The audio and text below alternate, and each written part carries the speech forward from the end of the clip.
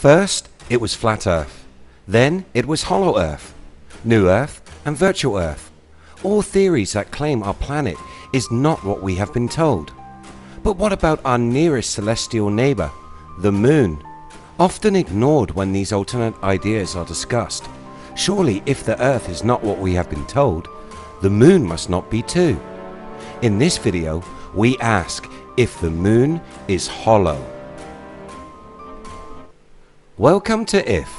Before we dive into the idea of the Moon being hollow, if you enjoy this channel's content, I would appreciate your support by asking you to please remember to hit that subscribe button and ring that notification bell. So, let's get into Hollow Moon Theory.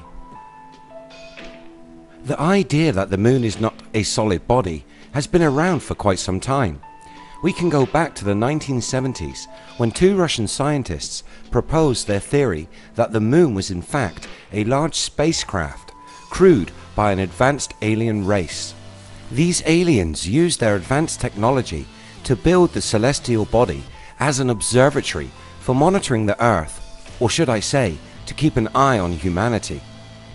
The outward appearance camouflaged to appear to us as a natural formation, while hidden in the interior a community of ETs going about their daily business.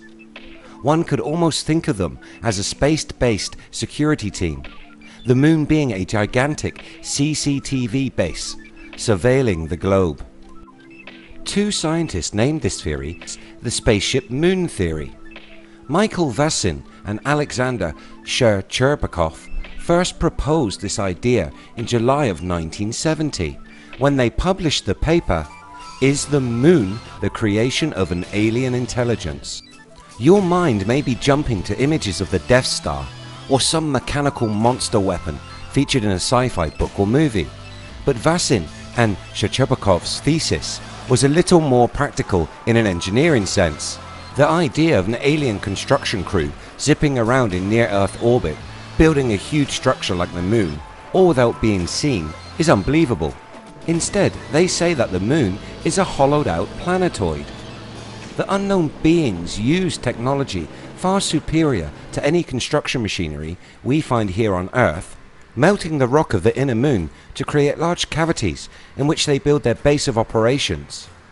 The claim is we can see marks from this construction method on the moon's surface, a result of molten lava spewing out onto the face of the moon. This implies the moon has been altered to have an inner hull and an outer shell, thought to be consisting of a metallic rock. The Earth's satellite now being something engineered and not natural. Other evidence of the moon not fitting with a natural explanation is said to come in the form of large lunar craters. Mainstream astronomy tells us that these were formed by meteor impact. The hollow moon thesis says no, this because they are too shallow with flat or even convex bottoms. They use the comparison with the smaller craters, which have a depth that is proportional to their diameter. Using the same measure, the large craters should have a far greater depth, but they do not. They are not saying that the craters are fake, but that the smaller craters are formed in a more natural way as meteors of lesser size impact and leave an accurate impact site, a true fingerprint of the collision if you will. Whereas the larger meteors are impacting with a lot more energy. They drill through a 5 mile rocky layer until they hit the high tensile metal hull underneath. This hull creating a depth limit to the large craters and providing evidence that the moon has been altered and reinforced to withstand these impacts. More claimed evidence of this construction comes from materials recovered from the lunar surface. The moon's surface comprises of different elements from the surface of the earth. Chromium, titanium and zirconium are all found in concentration. The two scientists believe that the moon comprises of a rocky outer layer. This outer layer is thought to be 20 miles thick. This provides a covering while the strong metallic hull that perhaps houses an atmosphere lays beneath. Artifacts are said to have been photographed and retrieved.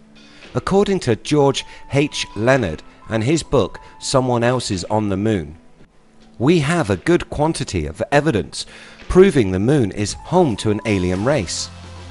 The concluding piece of evidence for many is the idea that this is the reason we have not returned to the moon since 1972. The discovery of these watchers putting an end to manned visits to the moon.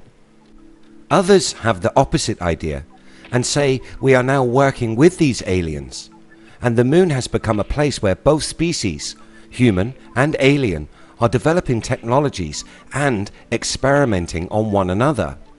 An alliance founded in science.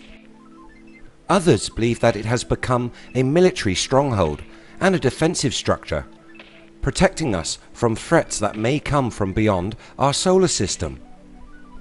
What do you think? Is the moon hollow? Are we being surveilled by an advanced alien race? And if so, to what ends? Do you think that all astral bodies are hollow and both the moon and earth have an empty inner core? If you do, catch the video on Hollow Earth linked in the corner. Let me know your thoughts and ideas in the comments below. As always, catch us across social media by searching We Are If. Like, share and sub. All that good stuff. Thanks for watching. See you next time.